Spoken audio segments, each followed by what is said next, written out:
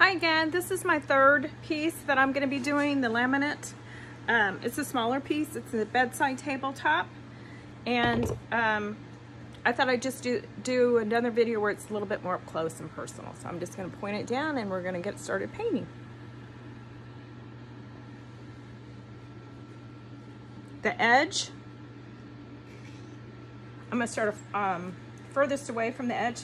This will go against the wall and you just paint up and over. Try not to have too many drips.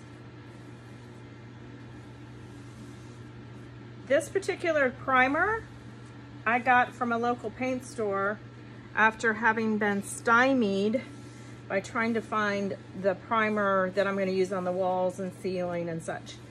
Um, so he assured me that it would work. We'll see.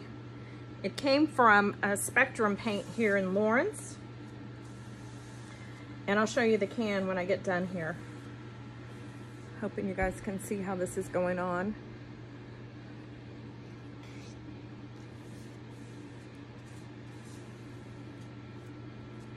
See?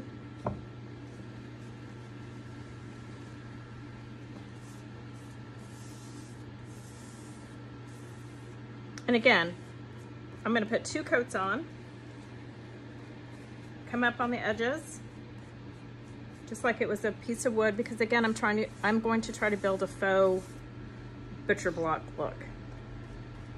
And I'll put this paint on really fast on the edge like this, and then I'll come back, because this will be like a, yep, the train's going by.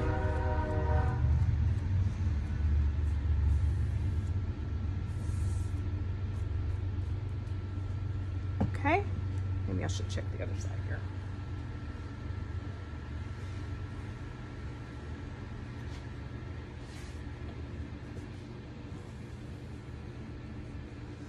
And then I'm gonna take the brush and do the lightly um, scoring it, causing some edges. You can see where that might look like a grain of wood.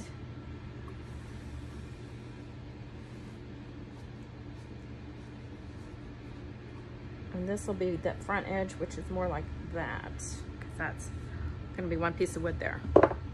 Okay, we'll see you soon.